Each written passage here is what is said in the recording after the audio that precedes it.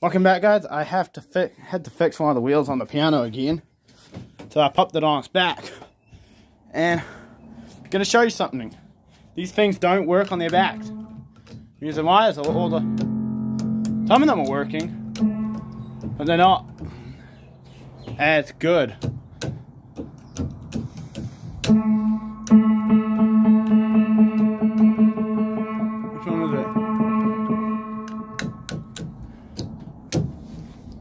Right. Right. Got it back on its wheels. Gonna post that to TikTok. Make sure nothing is moved out of place. It's good that it's out of tune because I wouldn't. Uh, I didn't have as much fear of putting on its back. It's good in there.